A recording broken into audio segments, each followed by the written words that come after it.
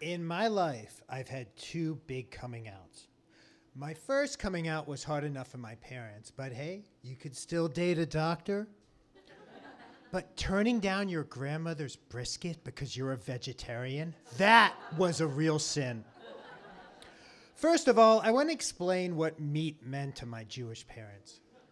My family was matzo ball soup and brisket Jewish.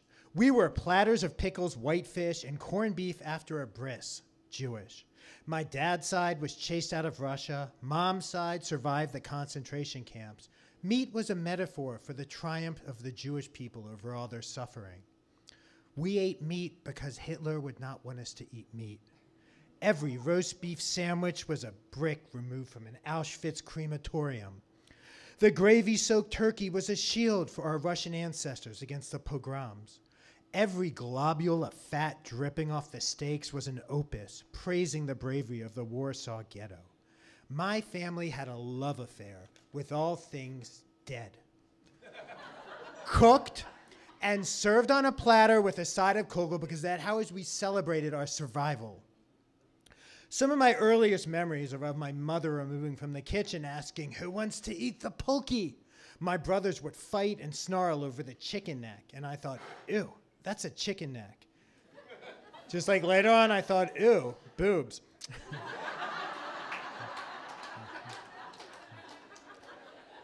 When I was a kid, I used to carve all the fat and gristle off the lamb chops, getting it down to one tiny bite, while everyone else slurped the marrow out of the bones. Mommy, were these the same lambs we took pictures with at the petting zoo? no, they're different lambs. But I was onto something. I was always the odd one out. Much like my brother, when my brother and father were screaming at any sporting event while I'd be coloring strawberry shortcake. Or the unfairness of the underwear ads I was forced to masturbate to. While my brothers had easy access to the porn my father clumsily hid. Later on, I discovered the poorly written gay penthouse stories in the back of the magazine. The pizza guy expected a tip, but I was broke, so I gave him a different kind of tip. The tip of my penis. but it was what I had. so we also kept kosher, which meant that we had separate dishes and utensils for meat and milk, except for glass, because somehow that's magical according to God. it's a little gay. If I committed the atrocity of touching a meat fork to dairy, my mother would purify it by placing it in the dirt of one of our indoor plants.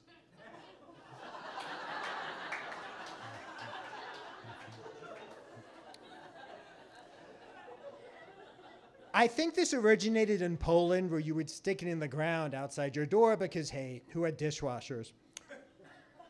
My friends asked me if my mother was trying to grow a fork bush. This all made little sense to me, just like the idea of eating meat as a whole. Or why the boys in my Archie comics wanted to stare at girls on the beach instead of the seagulls or, hey, shirtless volleyball players. Mm-hmm. The last time I ate chicken was at Kosher Delight, the McDonald's of kosher restaurants. Kosher and delight are two words that should never be used together. But I never got to order fast food growing up. McDonald's, Wendy's, Taco Bell, all forbidden by Jewish law. So this was my participation trophy. I bit into the chicken nugget and I found a chewy chunk of something. It was gummy and gristly. I thought a beak, a foot, an undeveloped, malformed chicken fetal twin. And then I recalled a PETA sticker with the slogan, I am not a nugget, showing an adorable baby chick. And I thought, correct, chick, you are not a nugget. And you are certainly not a kosher chicken nugget. And that was the last time I ate poultry. I realized it was time to finally tell my parents the awful truth. It was time to come out of the meat locker. As a vegetarian. During my first coming out, when I told my parents I was gay, my mother didn't accept it.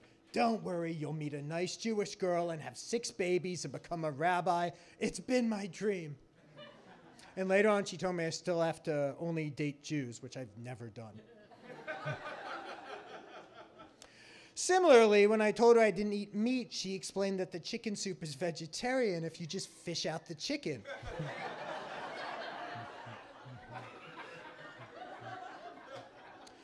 Then she slowly moved on, as Jewish mothers do, to a subtle but reluctant, if not passive aggressive, acceptance.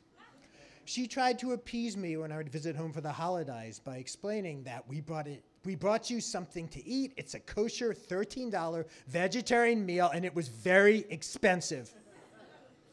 I would smirk and smile, pretending I enjoyed the salt filled, stale MSG mess. Massive family feasts were prepared with brisket and chicken and steak and gravy, and I would get my sad little side salad.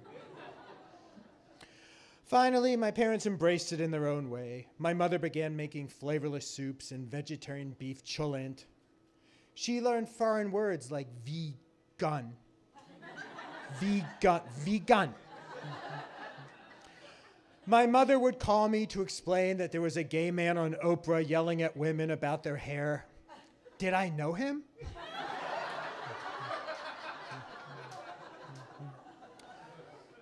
They took me to vegetarian restaurants and faked it. Mmm, it's just as good as meat. Isn't that right, Norman? Norman, tell him it's delicious.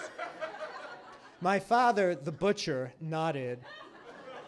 Long ago of his right to have an opinion that didn't come from her first. My mother still occasionally tricks me into going to kosher restaurants like Meat Point, noting that they have delicious hummus and I didn't drive, so I had no choice. And when we get together, I know I'm missing out. I'll eat my sides while relatives talk past me to ask my brother if he's met a nice girl yet on JDate. I shove my iceberg lettuce around and pretend it doesn't bother me, but it does.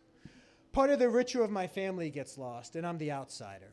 But I know they've accepted me for what I am their only son with a job and without a drug problem.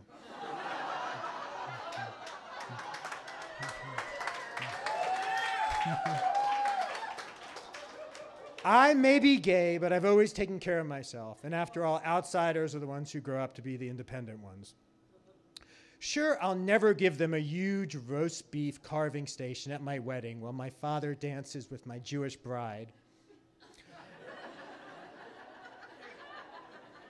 I might end up with a gluten free, organic, vegan wedding in the forest with my current partner, Eric over there, to embarrass him.